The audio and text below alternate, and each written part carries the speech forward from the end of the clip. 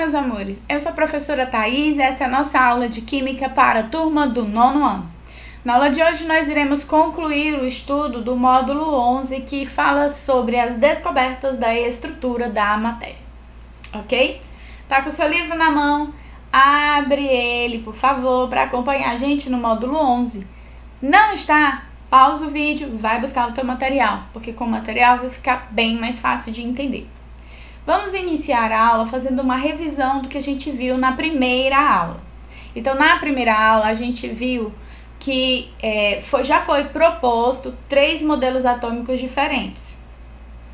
Apesar de nós citarmos quatro cientistas que tiveram é, uma importância gigantesca nessa construção. O primeiro foi Dalton, com o modelo chamado, conhecido como bola de bilhar, e esse modelo é assim conhecido, pois Dalton defendia que o átomo é uma esfera maciça, tá? Indivisível. Aí, por isso ela é chamada de bola de bilhar. Depois veio Thomson.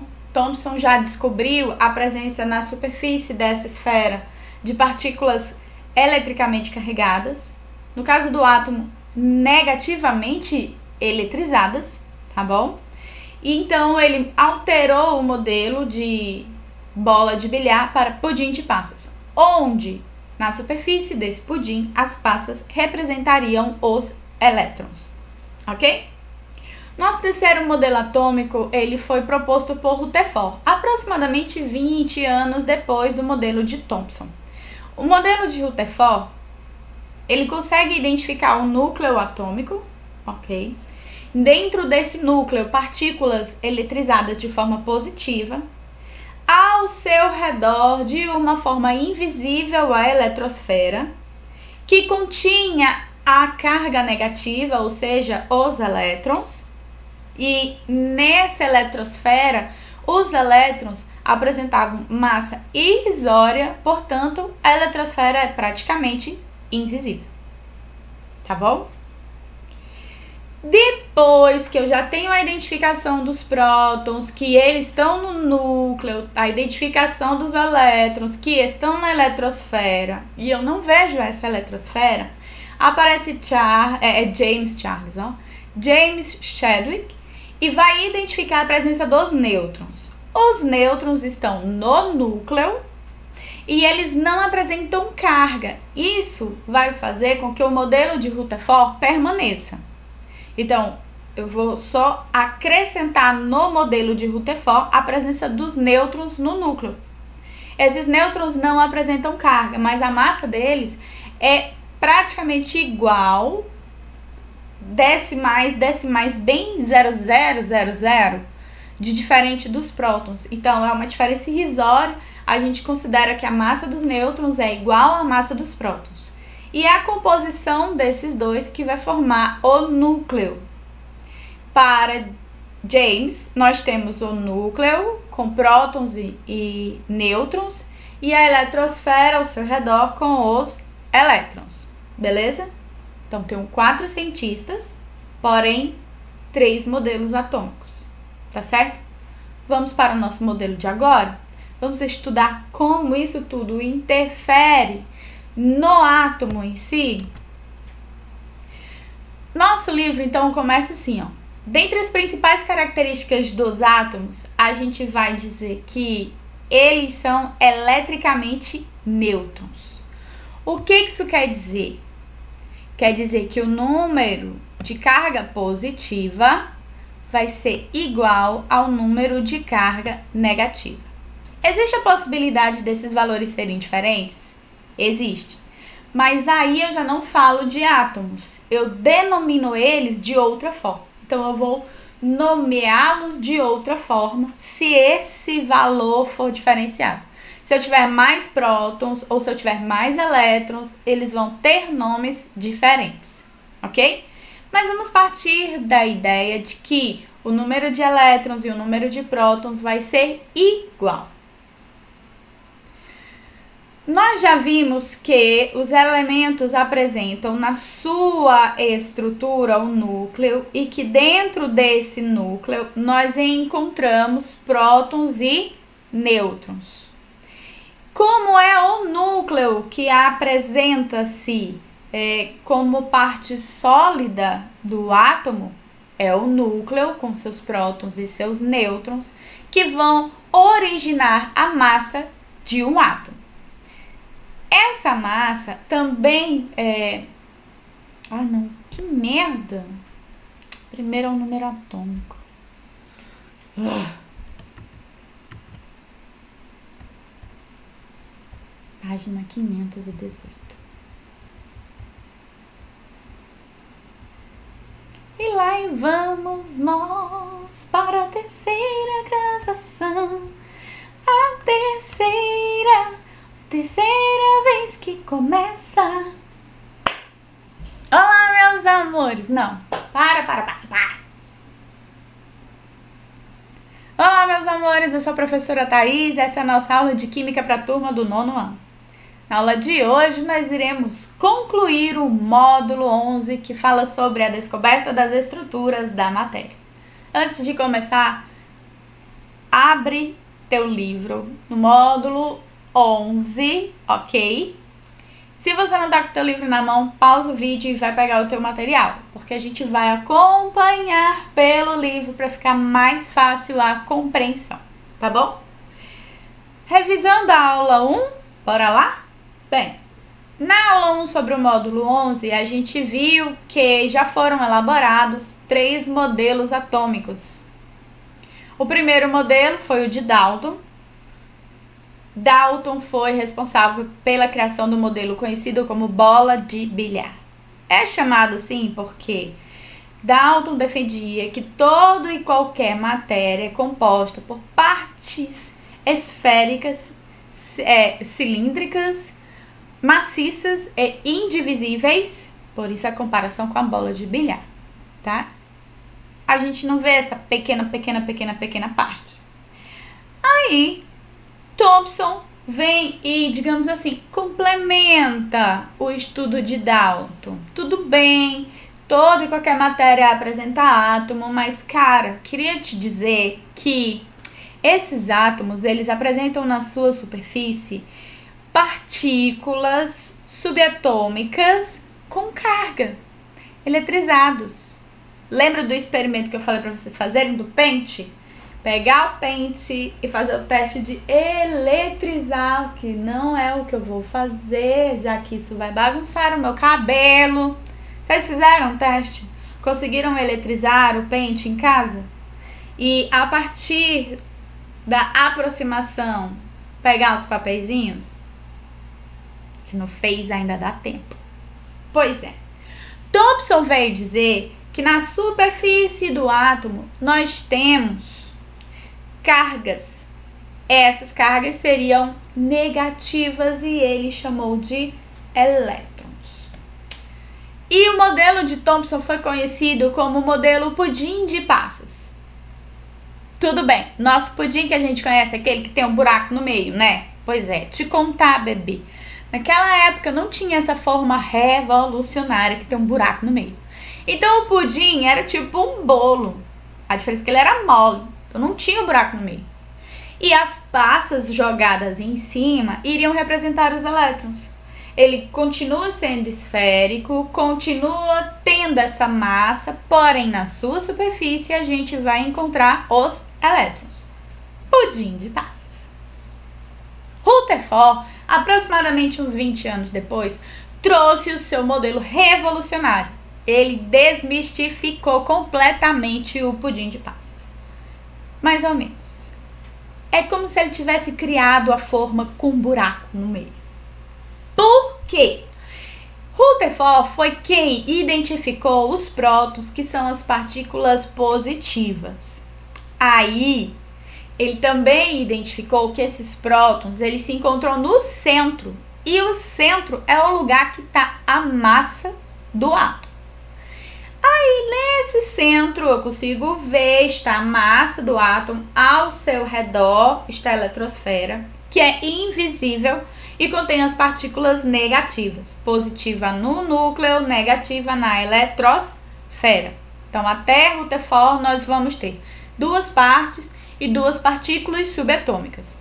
duas partes, eletrosfera, núcleo, duas partículas subatômicas, elétron de carga negativa, próton de carga positiva.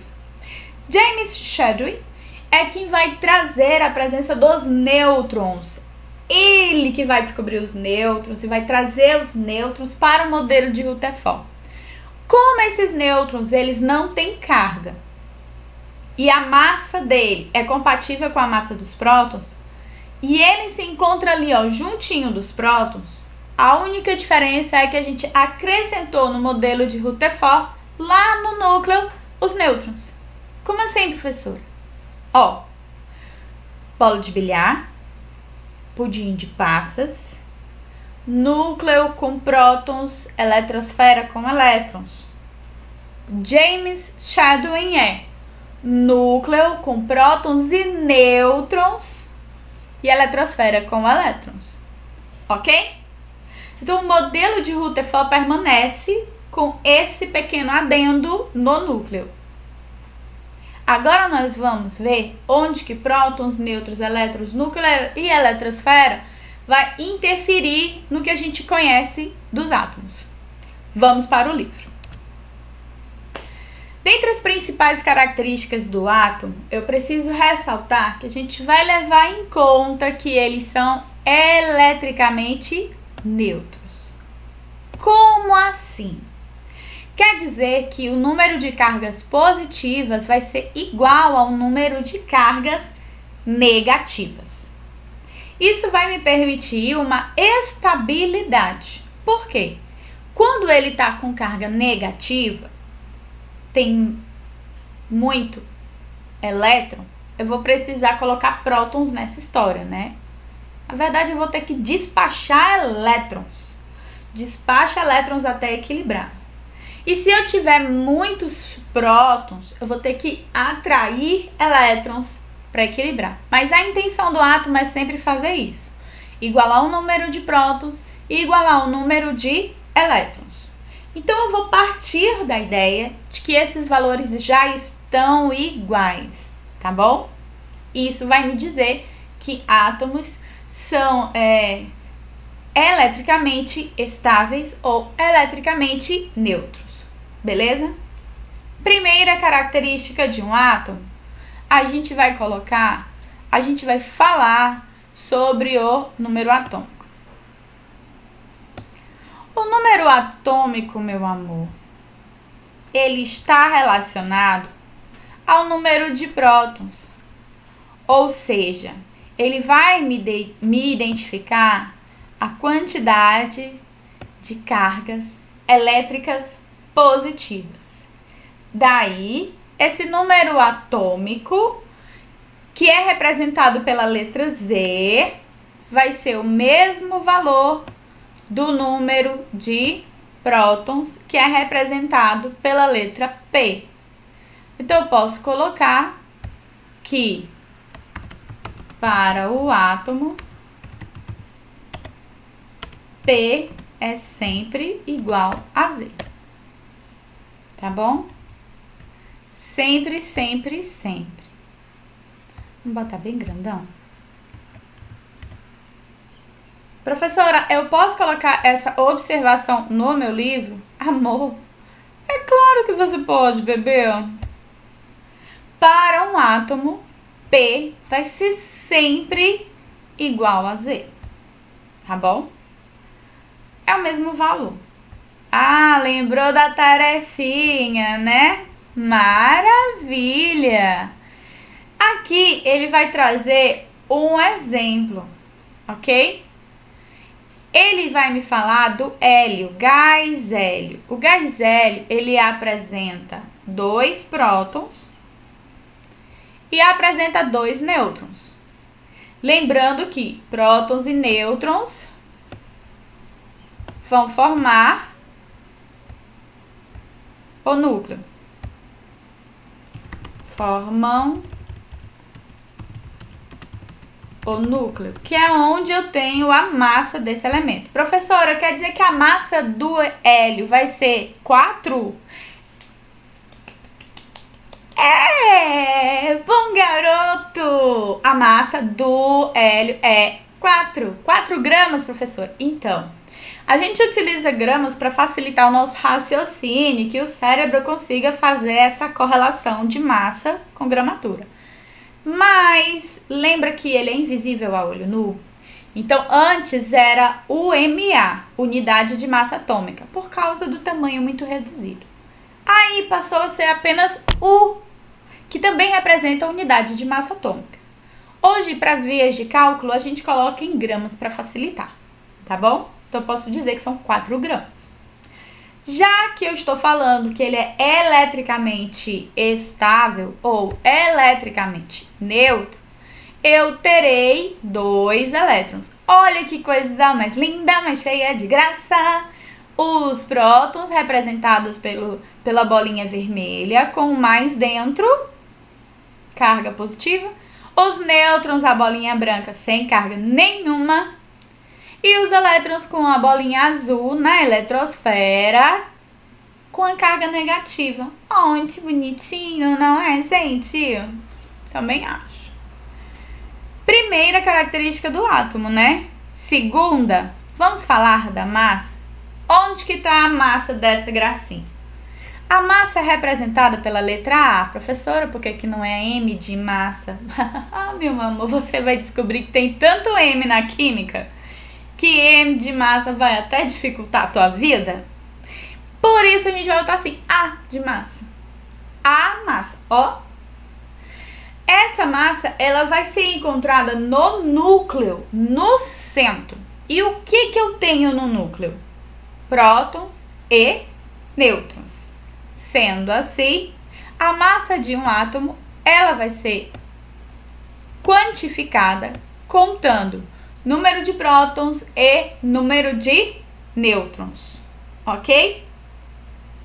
Preciso reforçar que quando eu vou lá para cima fazer uma referência que eu não tinha feito. Quando ele é eletricamente nêutrons, ou perdão, eletricamente neutro, eu vou ter a seguinte informação: P, opa, maiúsculo, vai ser igual a E. Lembrando que elétron é a letrinha E minúscula com menos em cima. Eu não consigo botar menos em cima dele, né? Não aqui no no Foxit. Então vou deixar só assim, ó. Para átomos. Ai, gente. Para átomos. Nossa, tá grande. Hein? P vai ser sempre igual a E. Tá bom? Centralizar para ficar mais bonitinho. Para os átomos. Aí vale lembrar que a gente já anotou que para o átomo P também vai ser igual a Z. Olha, então prótons é igual ao número de elétrons, que é igual ao número atômico. É, isso mesmo! P é igual a Z e é igual a E. Calma, não vai bugar o juízo. Vai dar certo. Já o número de massa está relacionado apenas ao núcleo. Lá dentro eu tenho prótons e nêutrons. Então, a massa vai ser igual prótons mais nêutrons. Fácil, né? Mamão com açúcar. Um elemento químico, gente, ele vai ser identificado a partir do seu número atômico, porque é esse valor que lá na tabela periódica você vai identificar a posição dele. Fácil, fácil, tá bom? Então, todo elemento químico, deixa eu colocar aqui no destaque, ele é formado. Hum, tem que ser aqui, peraí.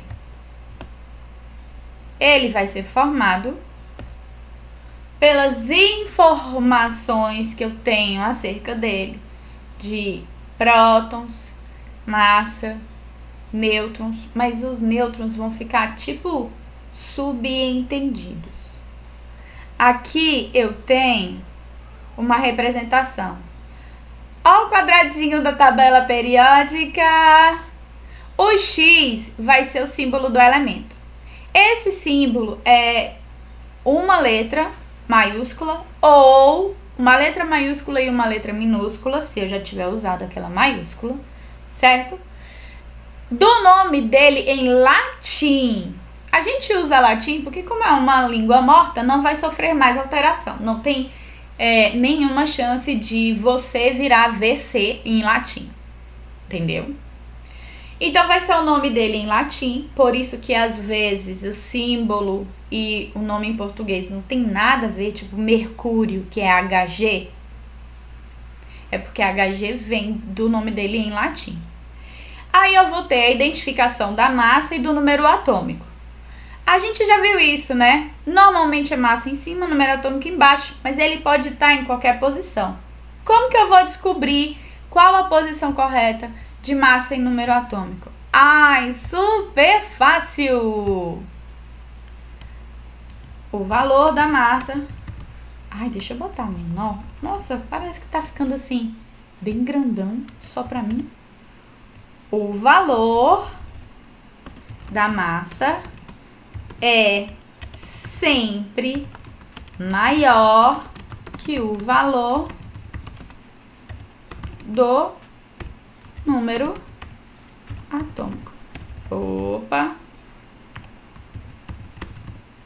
Vale lembrar que o número atômico é representado pela letra Z e o número de massa é representado pela letra A. Salva essa informação. Porque se ele tiver os dois embaixo, o número atômico vai ser o número menor. Se eles tiverem os dois em cima, o número atômico é o número menor. Se eles estiverem triangulados ou na diagonal, número atômico vai ser o número menor. E se eles estiverem do mesmo lado, também vai ser o número menor. Super fácil. Beleza? Se eu quiser saber o número de nêutrons, eu vou subtrair o valor da massa, como diz o nosso exemplo, subtrai o valor da massa pelo número atômico e aí eu vou obter o número de nêutrons. E se eu quiser o número de elétrons, P é igual a Z, que é igual a E. Beleza? Vamos tocar o barco. Professora, tem algum lugar que eu possa ver outra explicação sobre isso? Na nossa aula, amor. Aqui na nossa aula mesmo. Ok? Olha só que atividade fácil. Quer fazer essa primeira? Bora fazer essa primeira? Não, gente, é fácil demais. Essa atividade ela é gigantesca para não dizer que ela tem quatro questões. Então ela vai ficar para você fazer em casa. A gente precisa conversar sobre os íons. Hum, lembra que eu te falei que os átomos são eletricamente neutros? Os íons não são. Eles apresentam uma diferença nessa carga. Quer dizer que os íons são átomos eletricamente carregados.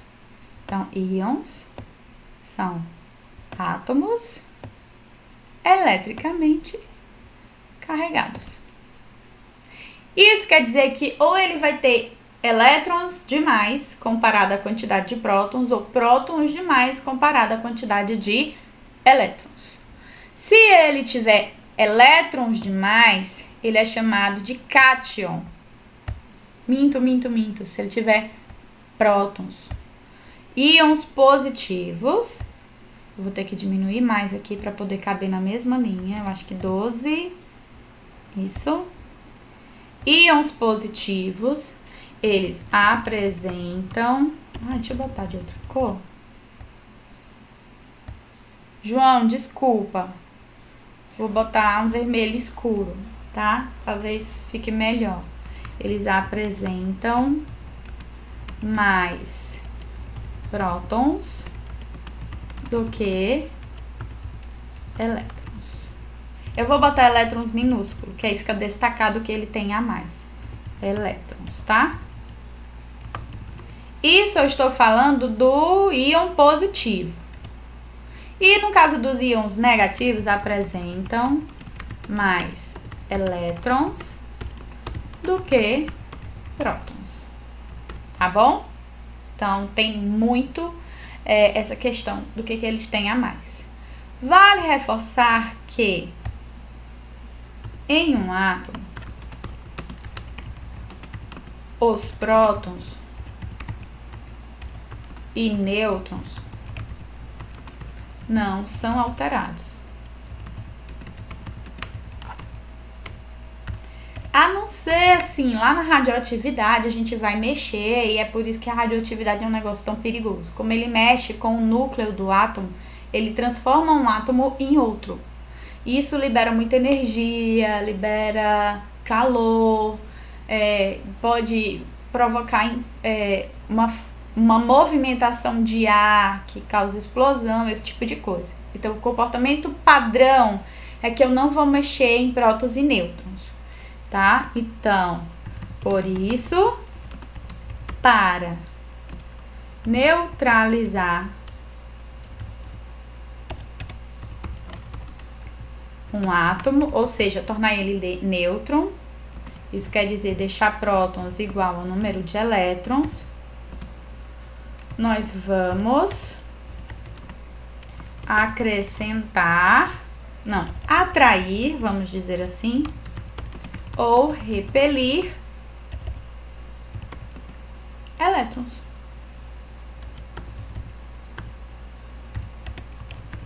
Então a gente só pode mexer no número de elétrons, a gente não pode mexer no número de prótons. Professor, como assim? Não entendi. Isso quer dizer que se ele tem mais prótons do que elétrons, eu vou ter que despachar, é, atrair elétrons até que fique igual. Se ele tem mais elétrons do que prótons, eu tenho que despachar elétrons, tá?